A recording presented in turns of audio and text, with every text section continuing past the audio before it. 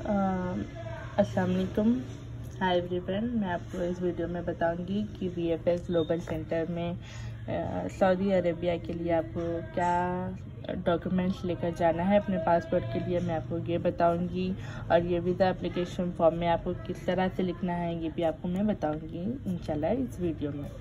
First of all आपको appointment लेना है V F S global centre को जाने के लिए। अपॉइंटमेंट मस्ट है। आप वहाँ जाकर भी अपॉइंटमेंट नहीं ले सकते। पहले से आपको वेबसाइट पर अपॉइंटमेंट लेना है। तो अपने अपॉइंटमेंट लेने के बाद आपको साथ में विदा एप्लीकेशन फॉर्म के मुंबई, अहमदाबाद कोचिंग चेन्नई, हैदराबाद और बेंगलुरु के लिए मैं यहाँ हैदराबाद से बात कर रही हूँ। तो मैं आपको हैदराबाद की डिटेल्स बता दूँगी। आपको अपने फ़र्स्ट ऑफ़ ऑल आपका वीज़ा एप्लीकेशन फॉर्म लेकर जाना है जो कि ये वेबसाइट पर अवेलेबल रहेगा।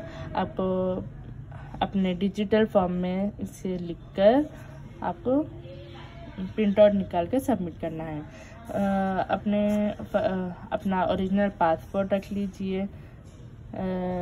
इफ़ इफ़ इन केस आपके पास ओल्ड पासपोर्ट है वो भी आपके ओरिजिनल पासपोर्ट के साथ रखिए क्योंकि मैंने वहाँ देखा है इफ़ और पासपोर्ट आप नहीं लाए तो आपको वापस भी जा दे रहे। ओरिजिनल पासपोर्ट के साथ आप बेहतर होगा कि आप और पासपोर्ट अपने साथ लेकर जाइए। दोनों पे पासपोर्ट आपको सबमिट करना है। आ, इसके लिए आपको passport with at least six month validity रहना है वहाँ पर जो कि डिटेल्स आपके अपॉइंटमेंट लेने के बाद आपको बताएगा कि आपको क्या क्या लेकर जाना है। सो ओरिजिनल पासपोर्ट लेकर जाना है सिक्स मंथ वैलिडिटी रहना है विद एप्लीकेशन फॉर्म जो कि ये है। आपको मैं बताऊँगी किस तरह से लिखना है।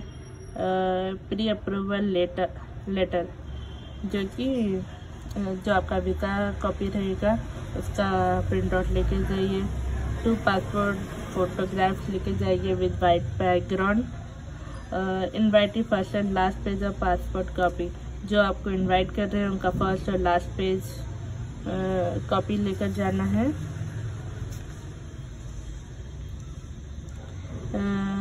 स्पोर्ट्स नेम इफ़ आपके पासपोर्ट पर स्पोर्ट्स नेम एंट्री है तो इसकी ज़रूरत नहीं है। इफ़ इन केस नहीं है नॉट मैंशनड है तो आपको उसका मैरिज सर्टिफिकेट या जो भी रिलेशन है आपका उनके साथ प्रूफ लेकर जाना है।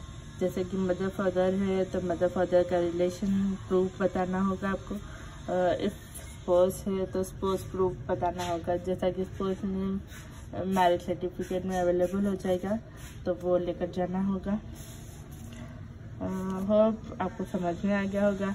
इफ़ इन केस आप अपने बच्चों का भी सबमिट कर रहे हैं तो आपको अलग अलग फॉर्म बनाना होगा सेपरेटली जैसे कि ये visa letter invited first last page खामा कॉपी ये सब आपको डिफरेंटली बनाना होगा। एक ही कॉपी पूरी फैमिली का नहीं होगा सेपरेटली होगा। ठीक है? नेक्स्ट विद एप्लीकेशन फॉर्म किस तरह से लिखना है? ये फोटोग्राफ एम रखना चाहिए। ये मोफा नंबर, ये बी एम टी ये टू थर्टी टू ये बी एम टी ये आपको V F L global website में मिल जाएगा या कहीं भी मिल जाएगा। ये जॉब टाइटल इफ़ आप वाइफ लिख रहे हैं ये, वो हाउस वाइफ है तो यहाँ पे हाउस वाइफ लिखना है। जॉब टाइटल ये कंफ्यूज करके अपने हस्बैंड का मत लिख दीजिए यहाँ पर। मैंने ऐसे ही किया था तो आप लोग मत कीजिए ऐसा। स्पोर्ट्स नेम ऑप्शनल ये अपने हस्बैंड का नाम लिख दीजिए यहाँ पर। यहाँ पे पासपोर्ट होल्डर फ़र्स्ट नेम यहाँ पे अपना नेम लिख लीजिए, यहाँ पे place and date of birth लिख लीजिए नेशनलिटी लिख दीजिए रिलीजन लिख दीजिए रेसिडेंशियल एड्रेस जो आपका एड्रेस है वो लिख दीजिए।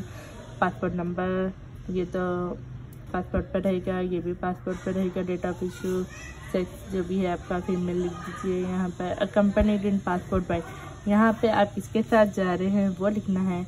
इफ़ आप अलोन खुद ही ट्रैवल कर रहे हैं, किसी के इंडिपेंडेंट पर नहीं जा रहे हैं तो आप ये एम रख दीजिए। इफ़ अपने बच्चों का लिख रहे हैं आप फॉर्म तो यहाँ पर आप लाइक मदर के साथ जा रहे हैं तो यहाँ पे मदर का नेम लिख देना लिख देना है। यहाँ अगर फादर के साथ जा रहे हैं तो यहाँ पे फादर का नाम लिख देना है। कंप्लीट नेम लिखना चाहिए, यहाँ पे फादर मदर इस तरह से नहीं लिखना है। इफ़ माइन बच्चों का आप जॉब लिख रहे हैं फॉर्म तो यहाँ पे जॉब टाइटल पे माइनर लिखना है। बहुत समझ में आ रहा है आप लोगों को ये video purpose of visit and period of stay purpose of visit यानी फैमिली विज़िट विदा है तो फैमिली विज़िट विदा लिख दीजिए यहाँ पर। एंड पीरियड ऑफ़ स्टे फिर फैमिली विज़िट लिखने से नहीं होगा। यहाँ पे अपना पीरियड ऑफ़ टाइम भी बताना है। लाइक फैमिली विज़िट कॉमा डालकर आप यहाँ पे नाइन्टी डेज़ लिख लीजिए। Next date of departure and port of arrival कहाँ पर जा रहे हैं, वगैरह वो लिख दीजिए। विदा नंबर जो भी आपका विदा नंबर है वो लिख दीजिए। कौन से नेम हस्बैंड नेम जो भी आपके हस्बैंड का नेम है, वो लिख दीजिए। एड्रेस एंड टेलीफोन अब यहाँ पर सिर्फ़ टेलीफोन नंबर लिख दिए तो वहाँ पर भी जा देंगे। एड्रेस नहीं है, बल्कि बहुत इतनी भी मिस्टेक नहीं होना है वहाँ पर। तो बेहतर होगा आप पूरा कंप्लीट लिखिए। लाइक पर्पस ऑफ़ विज़िट यानी सिर्फ़ फैमिली विज़िट लिख दिए तो पीरियड ऑफ़ स्टे नहीं लिखे, बल्कि भी जा देंगे। एंड एंड जो भी है, वहाँ पे दो दो लिखना है। लाइक ये सिग्नेचर ऑफ़ एप्लीकेंट होगा तो यहाँ पे एम ही छोड़ना है। अब आपको मेरी वीडियो समझ में आ रही है। uh,